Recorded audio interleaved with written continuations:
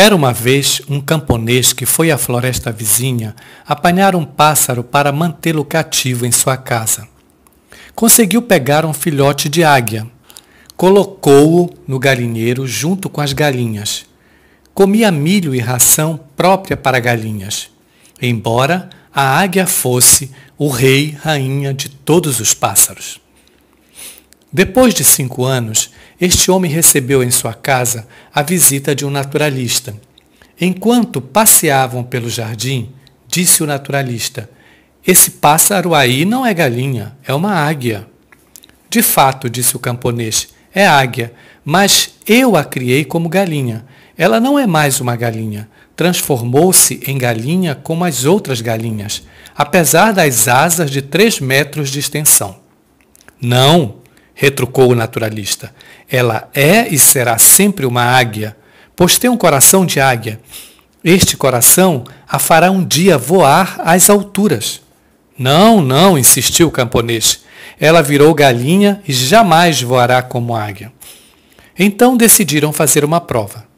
O naturalista tomou a águia, ergueu-a bem alto e, desafiando-a, disse: Já que você de fato é uma águia, já que você pertence ao céu e não à terra, então abra suas asas e voe.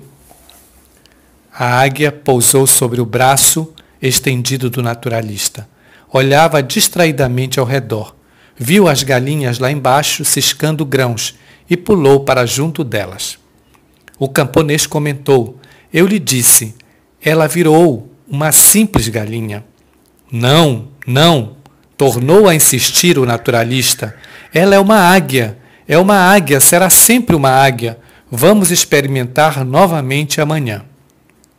No dia seguinte, o naturalista subiu com a águia no teto da casa. Sussurrou-lhe: Águia, já que você é uma águia, abra suas asas e voe.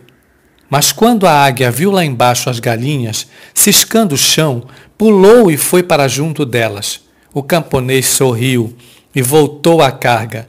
Eu já lhe disse, já havia lhe dito, ela virou galinha. Não, não, respondeu firmemente o naturalista.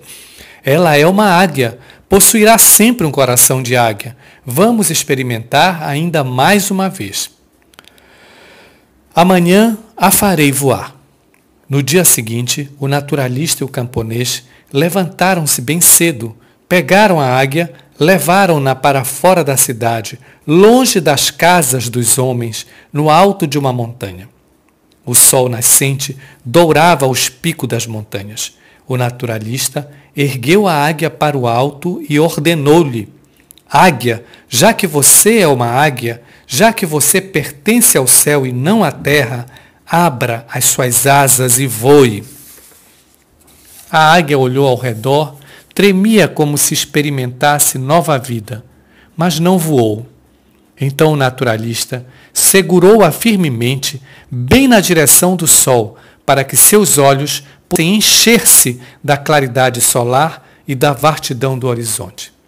Nesse momento, ela abriu suas potentes asas, grasnou com o típico grasnado das águias e ergueu-se soberana sobre si mesma.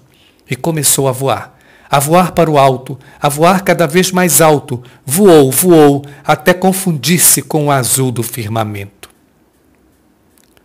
Agre, o teórico, terminou conclamando: Irmãos e irmãs, meus compatriotas, nós fomos criados à imagem e semelhança de Deus, mas houve pessoas que nos fizeram pensar como galinhas e muitos de nós ainda acham que somos efetivamente galinhas. Mas nós somos águias. Por isso, companheiros e companheiras, abramos as nossas asas e voemos. Voemos como as águias. Jamais nos contentemos com os grãos que nos jogam aos nossos pés para ciscar.